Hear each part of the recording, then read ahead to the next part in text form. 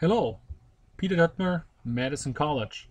Today I'm going to show you how you can copy and paste modules within an I.O. configuration in RSLogix 5000. Here I have a file open and it has four modules configured. I have another copy of RSLogix 5000 open in the background, which you can see here. It has other modules configured A nice feature within Windows 7 is to toggle between windows uh, and you can also uh, organize windows very easily.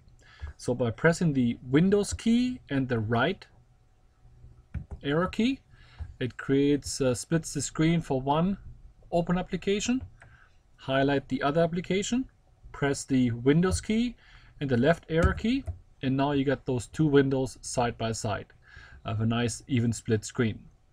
So now this is my project that I want to add the same IO tree to as I have over on this project.